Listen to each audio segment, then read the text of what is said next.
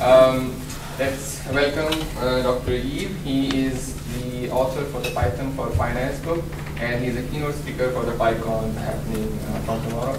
Um, and we, we, we're glad to have like a few minutes from him to hear from him about the Python and the finance. So over to Dr. Yves. Thanks very much. It's a great pleasure and honor to be here. It's my first time in Singapore, so actually, indeed, for the keynote and the tutorial on Saturday. And this was just decided before the meetup, but I'm more than happy to speak a little bit about what we do. It's all centered around Python and finance. I've just opened a couple of my websites. I have pulled together them in a in a file that I can share that you can make a picture or I share with the with the organizers. Uh, most of the information and links you can find on my website, which is my last name hilpisch.com.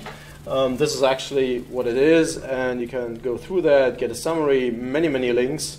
So here you see I'm founder managing partner of the Python Quants. The name suggests what we do. I authored a couple of books. I will show you a lecture for computational finance, and I'm also lecturing at the CQF program. Some of you might know, and I'm organizing meetups and conferences around Python and finance. Uh, you find there things like the seven-minute video about Python for quant finance, um, you find also my two-page overview about Python for computational finance and why it's taking over. So more or less, this is a summary of what you will see here anyways. I don't want to go through the details. If you want to follow me and want to stay up to date, you should follow me on Twitter. DYJH is the Twitter handle, but again, I have compiled all these links uh, for you to take a picture later on. The Python Quants is our company. Um, what we try to do is making the best of open source for quant finance. So we, we're coming uh, out of a time where we did mainly client work, um, doing development work, consulting around Python, other open source technologies like R for quant finance. So we are more and more developing to an education and training company. More on that later on. On our website, tpq.io, again, you find a couple of, of links and, and stuff that we do. So if you go there, um, again, I don't want to go through details. You will you will see what we do, but I show them in detail. Probably I'm best known uh, in the meantime around the world for my Python books. Uh, the most popular one is Python for Finance, the O'Reilly book, maybe a little bit smaller. Uh, this is selling quite well still, um, and I guess this will kind of uh, void in the space and that I cover a little bit of finance and cover quite a little bit of Python, and it makes kind of, a, I guess, a good combination to get an entry point. It doesn't teach Python from ground up, in a sense. It doesn't teach finance either, so you should know you should know a little bit of both actually. Uh, but many people who are working in this space actually have either finance background, have working with finance, have having had experience in programming with MATLAB, R, VBA, or whatsoever, and a little a little bit of background in both disciplines. I think it's kind of a kind of a good book, and I sold a couple of thousand times actually. Uh, my second book, which was actually written before the first one, but it came out later, it's Derivatives Analytics with Python. This is much more involved. This teaches actually quant finance and uses Python to illustrate everything. Uh, there has around about 5,500 lines of Python code uh, but it doesn't really explain how to get from the equations to the implementation. So, uh, in combination with the red book, you get the complete deal. So, actually, this was kind of the idea to write this red book with O'Reilly, which fills kind of the gap here from quant finance to Python. Uh, and a combination of both, I think, that makes a, a complete picture when it gets to quant finance. Then there's the third one, it's uh, listed volatility and variance derivatives, so you see it's getting more and more specialized. This is now on the product level. It's an outgrowth of a client project that we did. This is now with uh, Wiley and in the editing process. It should be out um, around end of October, beginning of November, something like that. Uh, I'm now, uh, or yeah, missing maybe my deadline to get back with feedback, so I have gotten kind of thing from the from the publisher, but I haven't had a chance to have a look at it. So maybe I'm the one in the end who is kind of postponing publication. Yeah, these are the three books, and I'm currently thinking about writing a fourth one, Python for algorithmic trading, or someone from Quantopian is first, maybe Thomas Wiecki or somebody else. Uh, maybe I, I, I would rethink it, but many people have asked me about writing such a book because there's obviously lots of interest, and Quantopian is one of the, the lighthouse examples there that uh, algo trading is kind of a a nice thing and, and of interest for many people out there. Yeah, these are the three books, and I guess uh, due to the O'Reilly book, which is the best-selling one, um, many people know me around the world these days. Then What we also do is providing a platform. Our approach to the platform is completely different to what Quantopian not completely different, but we are more or less focusing on, on providing a set of tools that we create and we use the platform more or less uh, yeah, as a tool and not as a thing in and of itself. So the platform itself doesn't do that much apart from providing shell access to the server, Jupyter Notebook, web editing, live chat. Um, now what we are using it extensively for is for providing trainings in a systematic fashion uh, and so forth. And it's completely free. We have a couple of thousand registered, I guess around 5,000 registered on the platform and using it more or less on a regular basis, like with all these numbers. And uh, in total, I guess we have an outreach in the community to about 10,000 people uh, around that. Uh, not only due to the platform, a couple of other things that we do. For example, our conference series, this started out in 2014, uh, when we did our first For Python Quants conference in uh, New York already quite successful. It started out with a one-day thing only, and uh, this year in New York, uh, which was for the third time, we had already five days. So we now do we're now starting Monday morning nine o'clock and end uh, with the after conference beers around midnight on Friday. Uh, so it's kind of a very intensive week, but but really nice. What we do there is we have four boot camps. If I scroll down, there also I see the numbers. Everything is broadcast live, so we have many people also from Asia who follow us uh, online. Uh, we have an introductory Python for Finance bootcamp, then a technical one covering things like uh, I/O uh, visualization and a couple of other things.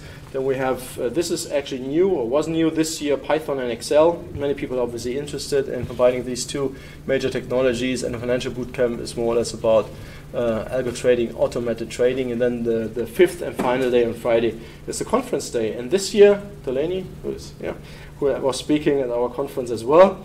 Um, so at Quantopian we have a couple of um, points where we're working together.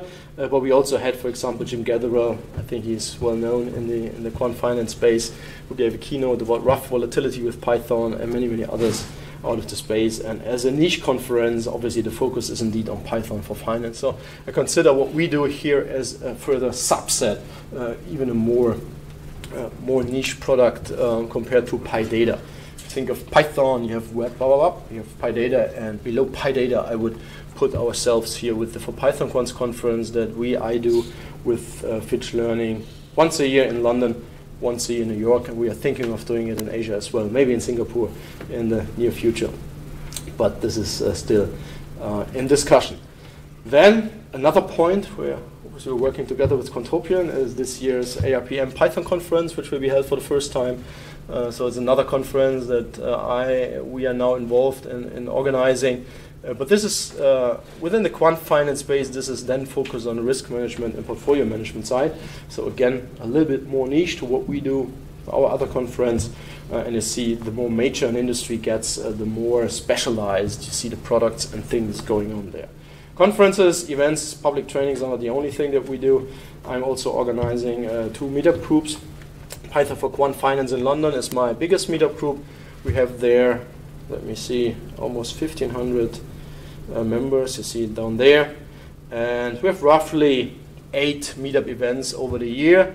Uh, again, compared to PyData London, which is, uh, at least to my knowledge, uh, the biggest Python group we have, they have roughly twice as many members and twice as many meetups. so, uh, but for our, for our niche effort there, Python for Quant Finance, I think we are good. And you see uh, like 158 signups. So roughly up to 100 people we have per meetup, and I'm really grateful that Thomson Reuters is usually sponsoring with kind of a nice venue, drinks, and, and infrastructure there. So really excellent to have these partners that other, or otherwise our meetups and events wouldn't be possible. Uh, neither the For Python Quants conference nor the uh, uh, For Python or Python for Quant Finance meetups with our partners like Fitch Learning and Thomson Reuters. Then this is actually my focus currently, um, our training side. I mentioned before we are more and more moving in this. Um, and the demand was obviously always there, and now we can fulfill it with our online trainings, um, which are centered around financial data science, algo trading, and computational finance. So these are also the major classes actually. We see here currently we've had the first round of Python for financial data science. Um, we are now close to finishing the Python for algo trading class. The next one will be centered around my derivatives analytics book, Python for computational finance. We then have a couple of pro topics that we cover, like Python and Excel. Um, best practices uh, with Python. I'm currently in discussion with other experts like uh, Francesca Alted, which is well known in our ecosystem, about adding a database class with Python. So building more and more things uh, that we can provide online there. And this is actually something I'm really proud of that we're the first ever to offer a Python for Finance University certificate. So if you finish all these classes as a package and pass a final exam and or project, then we are able to award with our German university, uh, HTW, University of Applied Science, in the Saarland area where I'm from uh, to issue a university certificate and not kind of a certificate. Within Europe, this can be um, due to our ECTS, which is European Credit Transfer System, can when people are studying for a master's degree, can even be um, brought into a master program that you're uh, doing there. And this is the next step. I'm currently in discussion with um, designing and providing a complete Master of Finance degree out of Germany, but obviously virtually uh, delivered uh, globally these days um, around these topics, like um, a Master of Science for Financial Data Science and Computational Finance. Yeah, this is actually currently our focus. Um, I'm really happy, and this is evolving really, really well and uh, taking up at least 50% of my time at the moment. In addition, I'm also giving corporate trainings for hedge funds in London and so forth. So training and ed education has become kind of the big thing. Again, here the, the article, Computational Finance, where Python is taking over, is on my website. So if you want to have the, the two-page summary, I think this is the best go-to source, uh, summarizing a couple of things about the language, the ecosystem, what we do, how I see the industry. Obviously, this is kind of a marketing piece, so kind of a research paper, but uh, they didn't complain about that actually. So that much about what we do, everything centered around Python for finance. I'm German, I'm Germany based. Uh, we are operating out of Germany, but uh, yeah, globally it's kind of a big world, but at least in the financial centers around the world. So I was 10 days ago in Basel. I will be uh, in two weeks in Zurich, which are maybe the smaller ones, but still important. I'm living close to Luxembourg. Usually I'm, I'm regularly in Frankfurt, two times a month in London, uh, a couple of times a year in New York, and now we are maybe getting more and more over to Asia as well. Yeah, I've compiled and I promised a overview. These are all the links that you have seen, so if you're interested in, in following up. But usually just if you Google my name or the Python quants, um, that's kind of uh, quite easy to jump from one thing to the other. Um, I want to do more things in Asia, so if you're interested in any of our training offerings, um, just refer and, and, use the code PyAsia, then you're good for 30% discount, um, just as an offer now that I'm here. And again, find everything, and if you have questions, I've put a couple of cards over there. If you're interested in my email address or whatsoever, uh, pick up a card. And yeah, that's more or less it, what I have to say. I offer, I mean, if time allows, I can speak a little bit about Python, but I see it's kind of already quite a bit late, so, so this was more or less a little bit of a marketing and overview of what we do, actually. Uh, one marketing question. Sure. In, in, your company, the logo, why the snake is trying to bite itself? so say it again. Uh, the, the, last part of your question I understood, the, the first part, no. Yeah, the logo of your company, yeah. right? There's a snake, and yeah. there's a bar chart inside but the snake is trying to bite itself. Do you have any meaning? Not really. this was kind of. Uh, usually, I get the question, "What is the animal on the cover of my O'Reilly book?" So, there, I, I, I, don't, I, don't, remember the English name. Uh, in German, it's a Schlitzohrrüssler. This is kind of I've never heard it before. Um, so, and I have a, a concrete answer to that. There was no discussion. I mean, we decided for this logo they, they provided the, uh, uh, the, the logo designs, and we decided for that. So no no deeper meaning. We, we Germans are really practical, practical so it just uh, we thought it would be good, and then we went with it. Other questions?